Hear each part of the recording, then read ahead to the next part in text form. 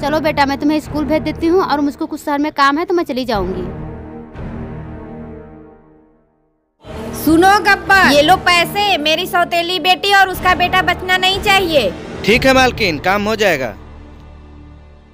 अरे रुक तुम लोग कहाँ जा रहे हो? साहब आप मेरे रास्ते से हट जाइए मैं अपने बेटे को स्कूल छोड़ने जा रही हूँ। तुम लोग स्कूल नहीं सीधे शमशान जाओगे। मेरे बंदूक की गोली तुम लोगों को शमशान पहुँचा देगा। हे कृष्ण भगवान जी हमारी रक्षा करिए।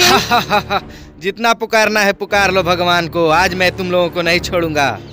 सुनो भाग दे लो जादुई पत्थर इससे तुम अपनी रक्षा कर सकती हो। ठीक है प्रभु। हे जादुई पत्थर इस राक्षस को जला के राख कर दे। ये क्या है? नहीं नहीं आ!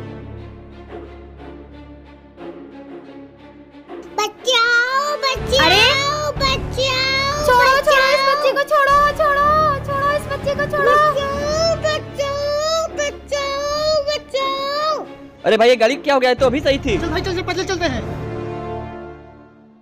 अरे कान्हा जी का मंदिर मैं मंदिर में चलती हूँ। हे कान्हा जी एक बच्ची को कुछ गुंडे उठा कर ले गए। मुझे इतनी शक्ति दीजिए ताकि मैं उस बच्ची को बचा सकूँ।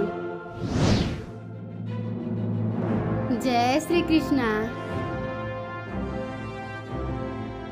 भाई तुझे गाड़ी की व्यवस्था करके तब तक मैं इस लड़की को जंगल में छुपा के रखता हूँ। ठीक है भाई। तो फिर आई मरने के लिए?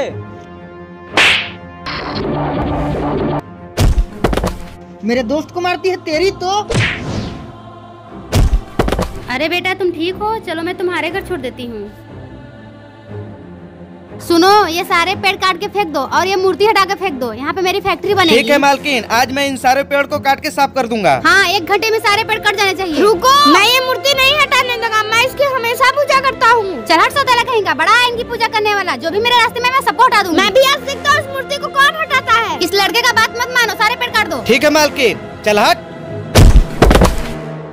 ए, रुको। मैं आज कुछ भी नहीं हटाने दूँगा। ये लड़का फिर आ गया। इस मूर्ति को छोड़ो भले ही से हटाओ। ठीक है मालकिन। चल। जाओ ले जाओ इसे। अब मुझे यहाँ फैक्ट्री बनाने से कोई नहीं रोक सकता।